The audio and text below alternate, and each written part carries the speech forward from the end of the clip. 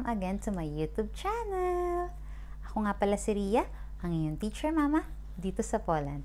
Don't forget to click subscribe! Kamusta na aking mga kababayan? Matagal-tagal din tayong hindi nakapagchismisan, kaya nagbabalik ang inyong teacher mama. So for today's vlog, pag-uusapan natin ang cost of living dito sa Poland. Marami sa inyo ang nag-request para sa vlog na ito, kaya ayan, pag-uusapan natin, iisa-isahin ko. Okay? So, samahan niyo ako or please bear with me. Bago tayo magsimula guys, bibigyan ko muna kayo ng background about Poland. Dahil alam ko guys, hindi lahat sa inyo alam kung nasaan nga ba ang Poland. So, sa mga hindi nakakaalam kung nasaan ang Poland, ang Poland ay located sa Central Europe. Okay? At ang Poland, guys, ay isa sa mga bansa sa Europa na merong mababang cost of living kung ikukumpara sa karatigin nitong mga bansa. So, isa ang Poland sa top 10 na merong low cost of living. Pero ang tanong, low nga ba talaga ang cost of living dito sa Poland? So, alamin natin. So, ang una ay ang accommodation. Magkano nga ba ang accommodation dito sa Poland? So, Based sa aking previous video or sa aking previous vlog, diniscuss ko doon na ang accommodation ay depende sa mapag-uusapan nyo ng inyong employer. So, pwedeng sasagutin ng inyong employer ang accommodation or pwede namang bibigyan kayo ng inyong employer ng accommodation allowance at pwede din namang hindi sasagutin ng employer ang inyong accommodation. So, bahala kayong mag-budget kung magkano ang ibabayad nyo para sa inyong accommodation. So, eto. Isa-isahin natin. Para sa mga kababayan nating gustong makatipid or nagtitipid, dito sa Poland merong dormitory type. So, alam naman natin kung ano yung dormitory type.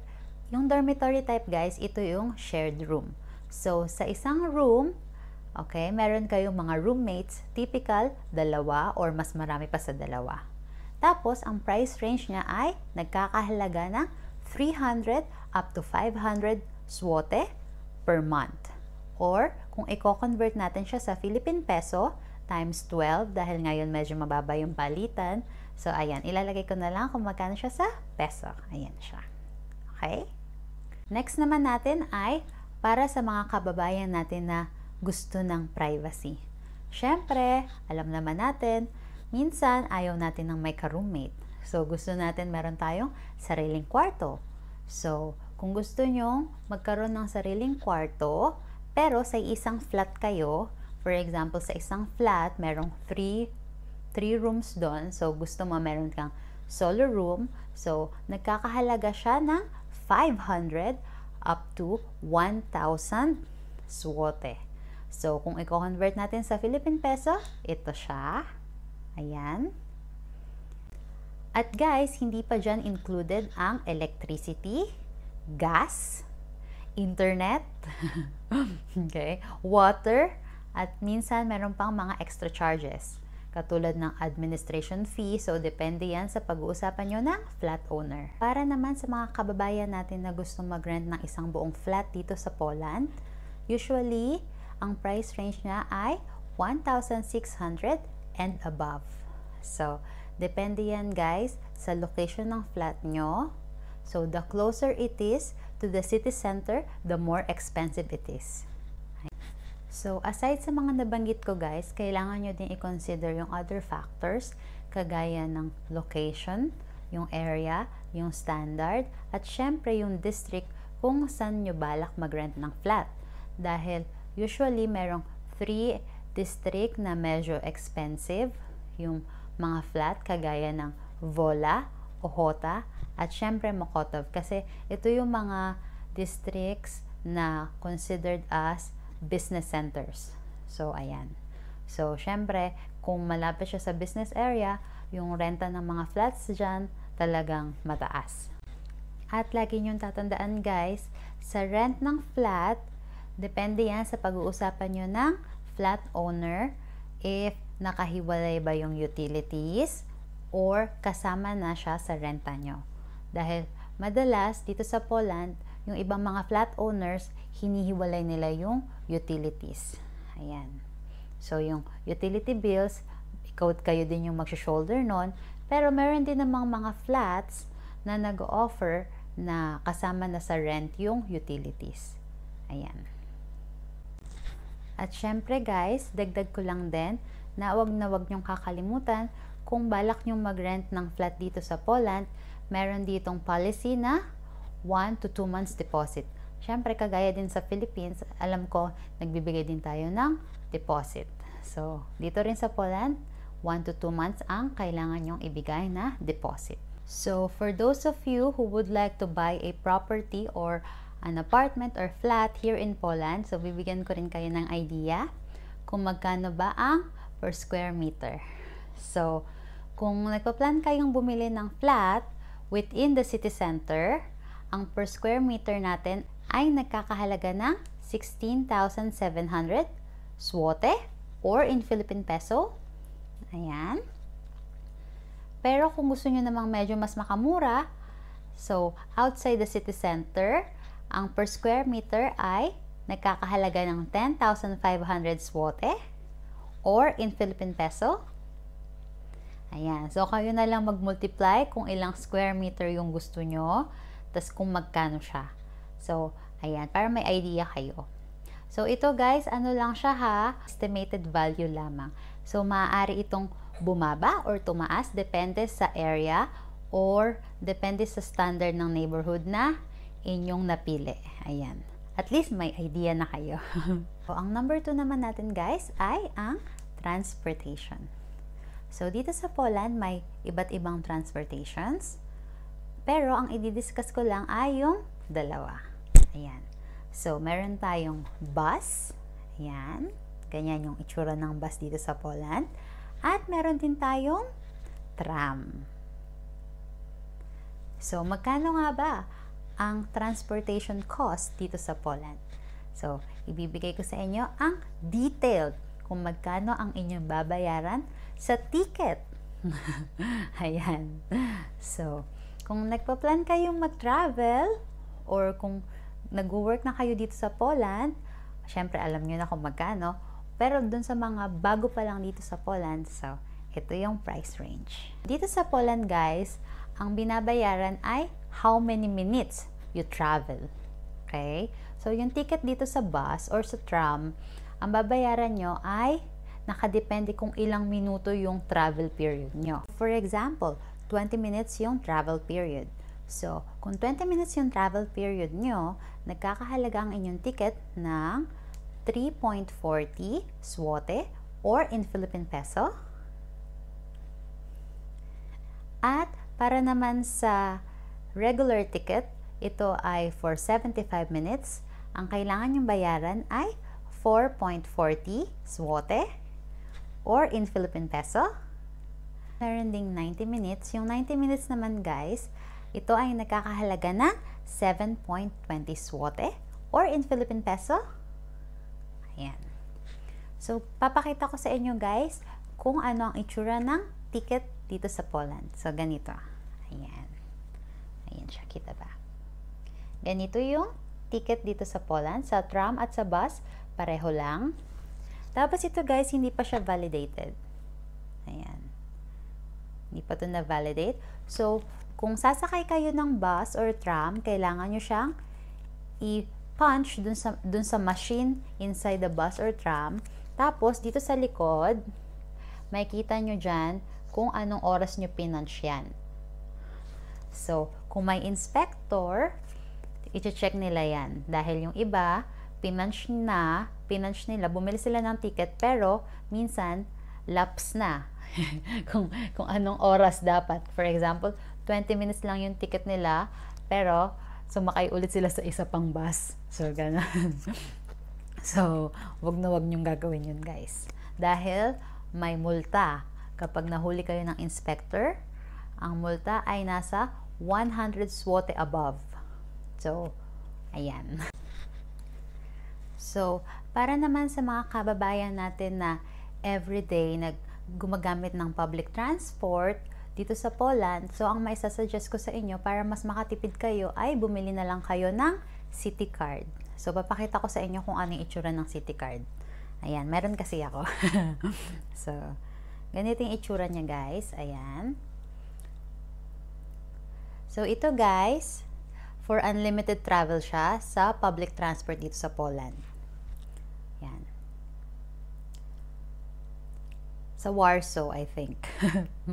Hindi ko alam kung sa ibang city ganito din yung ginagamit nila. Pero dito sa Warsaw, ito, ganito yung card. Tapos ito guys, pwede nyo siyang paloadan. For one month, ang babayaran nyo ay 110 zlote or in Philippine peso. Ito. Tapos meron ding for 3 months. Yung 3 months naman, nagkakahalaga ng 280 zlote or in Philippine peso. Ayan. So, may sasuggest ko guys, kung mahilig kayong lumarga ng lumarga, ayan. So, magbumili na lang kayo ng city card. So, itong city card guys, meron itong picture nyo at saka, ayan, may picture. Tapos, nandito yung pangalan nyo. Tinakpan ko. tinakpan ko talaga yung name ko. Ayan guys. So, para din siyang identity card. So, ayan guys. So, ang number 3 naman natin guys ay ang food cost. So, magkano nga ba ang mga presyo ng bilihin dito sa Poland? Abot kaya nga ba? So, alamin natin. So, dito sa Poland guys, pagdating sa fruits and vegetables, hindi naman sobrang kamahalan. So, ito yung price range ng kanilang fruits and vegetables. Ayan. Tapos guys, syempre, sa atin, rice is life. Pagdating sa rice, may mabibili kayong ganito. Ayan, ganyan. So, ito guys, 400 grams. Tapos, ang worth nito ay nasa 2 to 3 swote. Or in Philippine peso, ayan siya. Ayan. Pag kay, nagtitipid kayo, pwede naman ganito lang yung rice nyo. Or, kung gusto nyo naman, meron din silang 1 kilo. Ayan. Tapos, guys, papakita ko sa inyo ano itsura ng rice nila dito. Ayan. So, ganito siya, guys. Ayan, naka-plastic. O, diba? Tapos, may butas-butas yung plastic nila. Ayan. Tapos, guys, sa kanila, iba sila magsaing. Kung sa atin, pinugasan yung bigas, tapos, i-measure yung water, tsaka isasalang sa rice cooker. Dito, ang ginagawa, ilalab, ilalagay mo lang to sa boiling water. Dapat nakalubog na lubog siya. Tapos, in 15 to 20 minutes, ready na siya. Hahanguin mo lang, kaya siya merong handle. Yan. Angat mo lang. Tapos, buksan mo na. Tapos, ready na siya. Yan. Ganyan lang. Ganun sila magluto ng rice dito, di ba? Super easy. Wala nang is-is kaldero. Kagaya sa atin. So, ayan. Kung gusto nyo naman ng 1 kilo of rice, ang price range ng 1 kilo of rice dito ay nagkakahalaga ng 4 hanggang 7 swote. So, depende sa brand. So, in, in Philippine peso, ayan, yung price niya. Ayan. So, next naman natin ay ang chicken. Magkano nga ba ang chicken dito? So, pakita ko din sa inyo. May chicken kami dito sa bahay. Ito guys. Ito. Yan. Ganito yung mga chicken nila dito. So, nakapack na. So, ito guys, ano siya, wala pa siyang isang kilo. Point 537 lang siya. Ayan. Tapos, ito ay nasa 9.99 swote or in Philippine peso. Ayan. So, dito guys, pwede kayong mamili kung lahat legs or lahat thighs. So, depende sa inyo kung anong part ng chicken yung gusto nyo.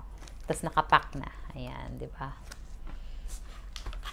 Tapos, sa mga ibang products naman, dahil hindi ko na kayang isa-isahin pa sa inyo, so, ayan, i, dito ko na lang ilalagay. Ayan, yan yung mga prices. Ayan. Estimate price lang to guys ha. Pwedeng tumaas, pwedeng bumaba. So, dahil ngayon inflation dito sa Poland, so, madalas tumaas ng konti. So, ayan. So, I hope makatulong sa inyo yung price range na pinakita ko. okay? Next naman natin, ang number 4 ay ang restaurant.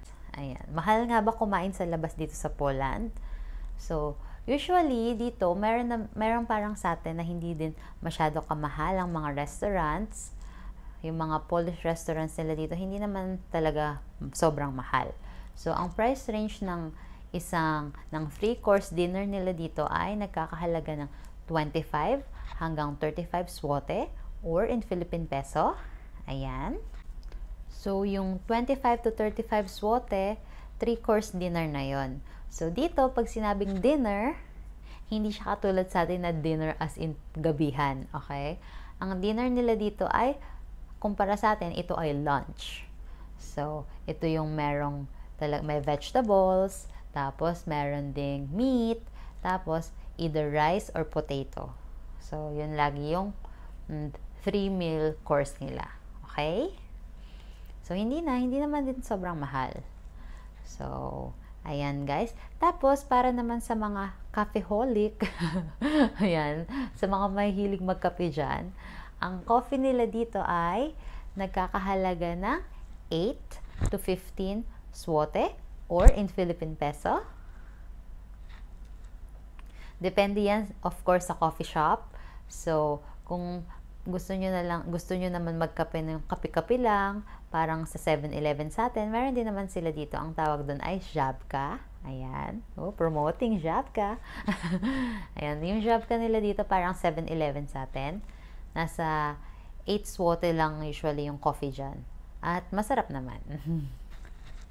And of course, ang number 5, ang last but not the least ay ang salon cost. Ayan, sa mga mahilig magpa hairdresser dyan, magpagupit, paayos ng buhok, ayan, manicure, pedicure. Ayan. Dito guys, masasabi ko na, yes, expensive po magpagupit dito. Dahil ang simpleng pagupit dito guys ay nagkakahalaga ng 35 swote hanggang 200 swote. Siba nyo yun? 200 swote. At sa Philippine peso, ito ay tumataginting. O, ba? So, kaya yung iba ditong mga Pilipino, sila na lang, sila sila lang yung nagugupit sa buhok nila sila na lang din nagkukulay dahil oo, sobra. Mahal talaga. Mahal magpaayos ng buhok dito. Tapos guys, yung 35 swote na sinasabi ko sa inyo, yan yung hindi yan dun sa um, parang sa atin, para mga small salon lang. Yon. So, yun na yung pinakamura nila dito. Tapos, para naman sa mga babae, ang manicure at pedicure dito, nagkakahalaga ng 50 hanggang 250 swote or in Philippine peso. Ayan. O, di ba? so, kung nagtitipid kayo or gusto nyong makatipid, kayo na lang ang mag-manicure at pedicure sa sarili nyo. So, ayun guys. So guys, dito nagtatapos ang aking vlog. I hope marami kayong natutunan sa inyong teacher mama dito sa Poland. At sana makatulong ang video na ito para magkaroon kayo ng background kung ano nga ba ang cost of living dito sa Poland. At based from my personal opinion, yes, Poland has a low cost of living compared to the other countries here in Europe. Ayan guys. And bago matapos ang aking vlog na ito, don't forget to like, comment, and subscribe to my YouTube channel. At huwag na huwag nyo ring kakalimutang kalembangin ang aking bell button. So, bye!